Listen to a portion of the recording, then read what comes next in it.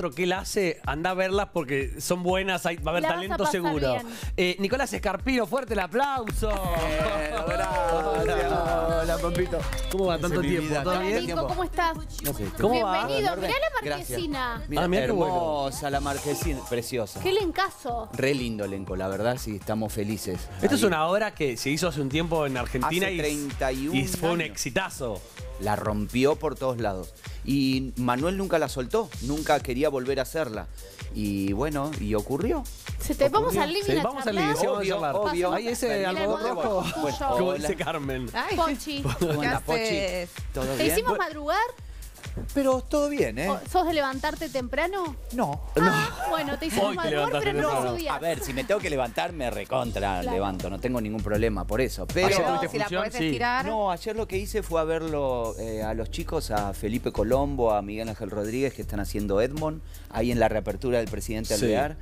Eh, que es muy linda. Sos de ir a ver teatro. Cuando puedo, me Sí. encanta. El teatro es como mi casa, es como mi base, es como mi todo. ¿Y te pasa Sí. que por ahí te invitan a ver una obra que vos sabés que es malísima y no querés ir? ¿Alguna vez te pasó o vas igual a bancar? La pregunta de Arranqué, me arranqué así. Yo creo, yo, mira, lo que nunca me pasa, eh, y de verdad, honestamente lo digo, es que si puede haber una obra que no me gusta, me levante y me vaya. No, Eso no. Claro, por respeto Sí, te pero Eso vos lo bien. hiciste una Yo vez. lo hice. Yo lo- yo Una, lo quise una- hacer Steffi, una vos vez. sabés que una vez lo No. hizo y Carmen le dijo, nunca Carmen. más hagas eso, no Le se mandamos hace". un beso no a sabía. Carmencita Sí, también, está enferma. que la- A mí me pasó amo. eso una vez, me invitaron a ver una obra y me parecía malísima y estaba que me quería ir y me- mi novio me decía, sos una maleducada si te levantás y te vas. Así que me tuve que comer toda la ¿Sabe- obra. ¿Sabes por qué sobre todo? Porque, porque eh, te puede no gustar, pero ante todo es, es, es sacarse el sombrero Claro. por, por esa El gente trabajo. que está ahí. Sí, que por ahí ellos les encantan lo que están haciendo. No, pero pero ¿sabes gustos el son... esfuerzo de saber que llegaron ahí, de que montaron una obra,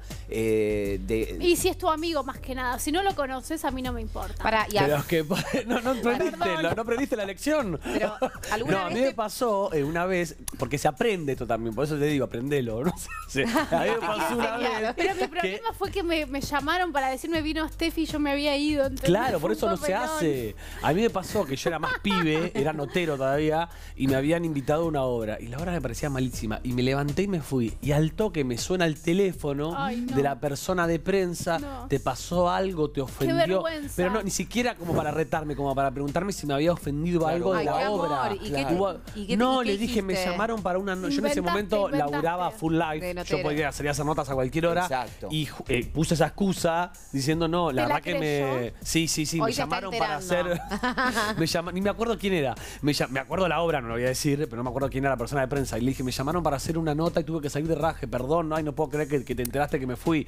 Pero no, y ahí dije, nunca más hago eso. Lo te que la bancás. parece, lo que después sí resulta más incómodo es si, hay- si quizás un- no es el mejor espectáculo que estás viendo es eh, que si te preguntan o quieren saber eh, qué te pareció y a, a veces porque a mí yo trato de ser como muy co- eh, eh, correcto pero sin Sin mentir. herir susceptibilidades Ah, claro. Claro. y tampoco eh, Pero decís sin la verdad. mentir. Claro. Pero a un compañero sí. Sí, sí, sí. Le decís, che. en, confia- en confianza lo digo, pero tampoco en el momento. No, o sea, no. en tal caso, al día siguiente. Si Claro. sos políticamente correcto, está bien, para ¿A no vos- herir. ¿A vos te pasó de estar en algún proyecto que no te gustó lo que, lo que, de, de qué se trataba el proyecto? No es una obra que la, la tuviste que Y hacer. por plata. Claro, y que por ahí no te gustó, viste que a veces.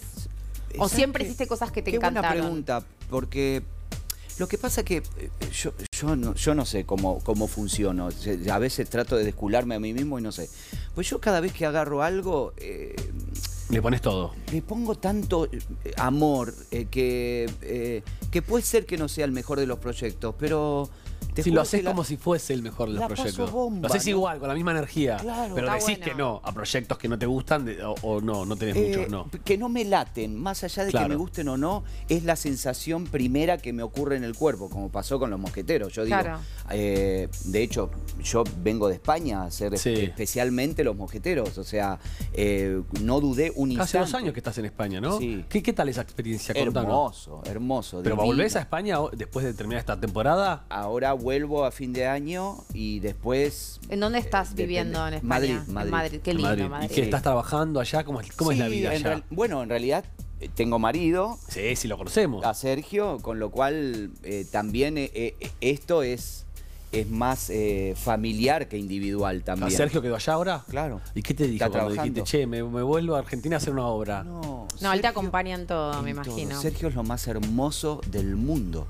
Sergio es el compañero más eh, perfecto que puedo tener. Con sus defectos también, Sí, sí, porque obvio. digo, No, pues nadie es perfecto. eh, nadie es perfecto, pero... eh, eh, Pero en la balanza es como es- ideal. Claro, porque ninguno de los dos nos cortamos las alas y eso es maravilloso. Yo creo que también tiene que ver con, con que eh, estamos muy asentados a nivel pareja. Yo, eh, justo el 4 de septiembre pasado cumplimos ocho años de casados y ahora en octubre cumplimos... ¿Ocho ya? ¿Y juntos cuánto? 14. 14. Un ¿Y, cómo es esta distancia? ¿Se extrañan? Sí, un montón. Y está buenísimo porque también potencia. Claro. ¿Viste? Entonces digo, ¿Por qué van a estar cuatro meses sin verse? no, ya vengo de, de casi tres que no lo veo. él, él- Claro, ya hace tres meses que no lo ves. Claro, y, y ahora vuelvo el 11 de diciembre. Ah, Pero o sea, él- va a ser no va a mucho tiempo. ¿Y, y, mm, y- y no, no viene él? No, ¿Para no, va, no. no va a venir ahora, no. No, puede no. por sus Por el trabajo, sí, ¿Y sí, cómo, sí. cómo son esos tres meses a distancia? Bien, así. ¿Hablan todos vemos. los días, hacen Sí, hablamos- videollamada? Sí, hacemos videollamadas eh, y, y estamos, nos acompañamos, nos... Desde otro lado. Sí, ¿Y sí, pero te- súper sano, ¿viste? Mm. Nada, eh, nada forzado, nada... mm, eh, desde, desde Nada el amor, tóxico. nada Y la tóxico, confianza, nada. ¿no? Es Cero re tóxico. importante, me Súper. imagino. Bueno, y cuando te llegó el proyecto, ¿cómo fue la charla? Digo, ¿lo tuviste que charlar? Che, me llegó esto. ¿Lo tenés que charlar o te encantó? ¿Tomás la decisión? No, no, ¿Cómo, cómo todo lo funciona hablo la pareja? Todo, Ah. lo, habl- lo hab- todo lo hablamos. ¿Le todo lo hablamos y, y- y- y la alegría es, es mutua. No es que yo me encapricho en hacer algo, o- porque además él, él me aconseja, me ve, me- me ve los puntos flojos, Claro. lo- los aciertos. eh, entonces siempre, siem- siempre acompaña eh, sin afectación. Claro. O sea, tratando de ser lo más observador posible. Y O esto sea- es muy íntimo, pero bueno, no sé, digo, Sí. ¿ustedes que tienen una casa armada acá ahora para que vos te vengas o tuviste que salir a alquilar algo con- de raje? Estoy con mis viejos. Ah, te viniste a lo de tus viejos. y de paso estás con ellos Sí, también, Claro, ¿no? o sea, desarmaron todo acá.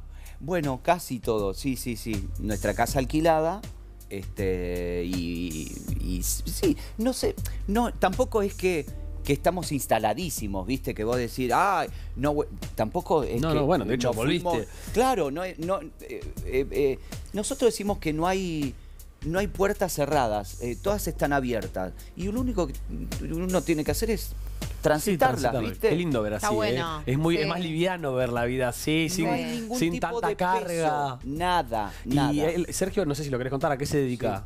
Él está allá? como jefe de operaciones de una cadena de heladerías muy famosa que se llama La Dolce Fina, Mirá. eh, que es, eh, no porque trabaje él ahí. Son buenos eh, los helados.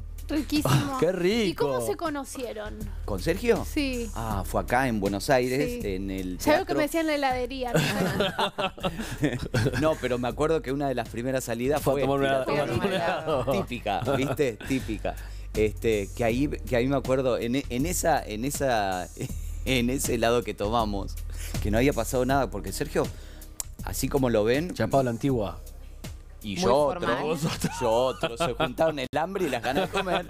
Pero claro, pasó que pasó un tiempo como Claro. para que pasen cosas. Claro, tipo ¿no? Eh, la, la vieja usanza. Tuvieron muy muchas formal. charlas, se conocieron. ah, sí, sí. Me encanta, es espectacular. Porque es como que te dan más ganas de conocer a la otra persona. Pero no sabes de qué manera. me- a mí me, me- m- Creo que eso es lo que me cautivó. Creo que eso también en nuestro contrato de amor, porque también digo, yo, yo soy pro eh, eh, todas las relaciones habidas y por haber, quiero Sí. decir. Que después nosotros se- seam- eh, tengamos nuestro propio contrato de amor y digamos eh, que vamos por este lado porque es lo que nosotros elegimos para transitar y contar nuestra historia de amor, bueno, es nuestro propio Sí, sí, sí, universo. nuestro- sí, obviamente. Eh, o sea, Claro. nosotros Ay, somos una relación monogámica, quizás. eh, muchos- eligen otra cosa, el poliamor, y por yo- ejemplo. Y yo no, no cuestiono, No no, juzgás. juzgo. Supuesto, sí, no sí. elegís, pero no juzgás. Exactamente. Perfecto. Eh, entonces- Así que entonces la confianza, como te preguntaba Steffi recién, es re importante Sí. y está. Y eso es lo que también me, me relaja y me permite hacer esto. Si yo viviera en una. Si, si yo estuviese viviendo una relación eh, tóxica, No lo más hacer. probable es que no me, no me mueva, pero no me muevo ni siquiera. A, a ver, chicos, creo que también yo tengo 50 años. Ya con 50 eh, la vida se ve desde otro Y lugar. aparte ¿viste? de la base no te hubiese acompañado a que vos te vengas cuatro meses a la Argentina Cero. a cumplir un sueño, a hacer esta, esta obra de teatro. Cero sería, sería eh, eh, manipulador, eh, buscaría la forma de que no crezcas, o sea, Sí, sí, nunca. quédate pasó acá, eso? a mi lado. Sí, ¿Te pasó en otra relación? Recontra. ¿Y cuánto tiempo tardaste en darte cuenta que no era lo que querías? ¿Te costó? Siempre tarde. ¿Viste? Sí, pasa. Es que bueno, viste, el manipulador tarde. siempre te envuelve. Sí, absolutamente. De hecho, hay un libro maravilloso que se llama La, el, eh, tram- La trampa de un manipulador que lo recomiendo porque es buenísimo. Ah, lo, voy a, lo voy a buscar. ¿Y, y qué? y, eh, a ver, ¿y cuándo empezaste a notar, si querés contar Sí. algún detalle, que te estaba manipulando esa persona? ¿Cuáles fueron las alarmas que se te encendieron? Eh, el, el- ¿Viste cuando, viste cuando eh, tenés la sensación de que vas, de que vas como eh, eh, eh, eh, queriendo como despegar o volar o flotar y tenés algo que te va como Sí, te tira Te para dice atrás. que no te lo baja, hagas. que te aplasta. Sí, que, que tampoco sé si tengo un ejemplo concreto, Claro. pero eso más o menos grafica, ¿viste? Mm. Sí, Esta sí. cosa de, de que alguien siempre te tira, qué sé Sí, yo, sí, sí, con, sí. con un no. Pero con un no que vos decís, dale. Claro, Eh, pero ¿por qué? ¿Por, qué me la haces no? difícil en esto que ¿Viste? O- tendría o que ¿Por ser? qué no conversarlo? ¿Por Claro. qué no llegar un- a un entendimiento, a un acuerdo? Eso es lo que me pasa con Sergio. Por eso, por eso también creo todo esto que, toda esta historia que venimos contando hace tantos años. Y lo conocí en el Teatro Broadway, para contestarte, Steffi. sí, qué Fui a ver una obra que era de Ana Costa, eh, Las Déspotas, una obra que diri- dirige, dirigía Nicolás Pérez, Co- Pérez Costa, que además eh, está también en Madrid, le está yendo muy bien a Nico. Y ¿Pero lo- él estaba en el público? no, él estaba arriba del escenario. Ah. Ah, ¿él es actor también? Él es actor también, es Ah. cantante, pero eh, viste cómo es nuestra Sí, profesión. sí, o sí. sea, decidi- algunos tienen- Decidió dejar de, de estar volando por ahí con, con trabajos volátiles y, y ponerse a laburar con algo más fijo. Quería algo más. Algunos tienen Seguro. más suerte, otros no. Claro. Viste que no, no sabes cómo descular nuestra profesión y por dónde es. Claro. Eh, muchas veces es, es azar, es el tren que pasa y si te Sí. subiste bien y si no, no, no sabes. Sumado a un talento, sumado a la suerte, es un montón de Sí, de factores, que hacen. No hay una fórmula. Y ta- estaba arriba del escenario y. Y no, no, no. No puedes sacarle los ojos de encima, pero mal. Ya lo viste y te encantó. Pero me morí de amor. Mirá. qué- Me morí de amor. O sea, fue amor a primera vista pero literal. literal. Mía. Y a Sí, él bueno, no. pero qué bueno que se te dio, ¿no? Porque amor a primera vista, yo digo que qué hermoso, pero pues por ahí no se te da. Sí. Digo, ¿Y, qué? genial. ¿Y vos, vos diste el primer No, y yo avance eh, o no? trabajaba Emiliano Rela y trabajaba Cari Hernández también. Yo le dije, chicos, ayúdenme, se los pido por el amor de Dios. Ay, pediste ayuda, me sí, muero. pedí ayuda. Ay, Sí, mi amor. yo encima soy muy tímido. Y siempre, generalmente, eh, eh, le, le ponía el ojo a lo que sabía que no. No. La típica, yo igual. Error. O sea, no, no, viste, casado, Es que ya que te guste, ya que te guste alguien y que el otro guste de vos ya es re difícil. Sí, Como sí. vos decís. Sí. Bueno, y ahí te hicieron entonces ellos. Me hicieron la, la gamba, nos fuimos a comer todos juntos, Sí. dejaron el Después lugar. de esa para- función. Después de esa función. Claro, te dejaron y el lugar empezamos a cerca. charlar y charlamos re lindo, re lindo, charlamos re lindo. Y como para seguir viéndonos.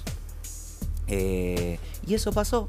Y, a poquito fue fluyendo, nos fuimos viendo, nos, nos conocimos un poco más. Y, y como al mes y medio, dos meses recién empezamos. Qué linda como- historia, es hermosa la historia. Y el amor que fluye, Sí. esto es para la gente. ¿viste? A veces uno quiere forzar y enamorarse. El amor que fluye es el amor que es, es como que todo fluye. Sí, sí, Pero absolutamente. Y siempre fluimos con él, ¿eh? Generalmente, ocurre naturalmente. De hecho, mira, venía para acá y le digo, estoy yendo al programa de los chicos, no sé qué, eh, que les manda besos a Sí, es un todos. genio. Este, y me mandó una foto de, de- de la hora, de cómo está ahora, y estaba trabajando con una sonrisa de oreja a oreja, eh, feliz y ¿Hace cuánto que están? Eh, eh, juntos, Sí. eh, de casados, ocho años, Ah, que cumplimos 14 hace total. poquito y 14 Sí. van a ser ahora en septiembre. Un montón. Eh, en Y- octubre, perdón. Me encanta. Son, son, te le dieron ganas de casarse a Juliano, dice. Le diste ganas de casarse a re. nuestro productor. Eh, ¿Y ¿Quién le- son felices en España también? Sí, ¿Están re contentos? bien. Sí. ¿Extrañan? Se- sí, siempre, siempre. Pero se ¿cómo. ¿cómo ves el país viviendo en Madrid cuando comparas, ¿no? Argentina y estar allá. No, nosotros estamos como muy acostumbrados a una forma de vivir que solo creo que la entendemos nosotros mismos. Es verdad Entonces, eso. cuando vos estás allá, eh, de verdad que vos ves eh, eh, lo doloroso de, de- de cómo nos acostumbramos A vivir. a vivir acá. Sí. Y cómo no- digo, iba a decir nos acostumbraron, pero es una mezcla. Sí. Nos acostumbraron y nos acostumbramos. ¿Y el O teatro sea, cómo lo ves? Digo, acá todo lo que tiene que ver con lo artístico. Bueno, la- últimamente estamos pasando un Sí, momento, teatral eh, eh, impecable, maravilloso y perfecto, te diría. Sí, sí, a Ah, pesar de la crisis, el teatro está El lleno la teatro. Que cartelera. esa, que esa es otra, Mm. es de las de las intrigas que vos decís. No, yo te la puedo llegar a explicar, ¿eh?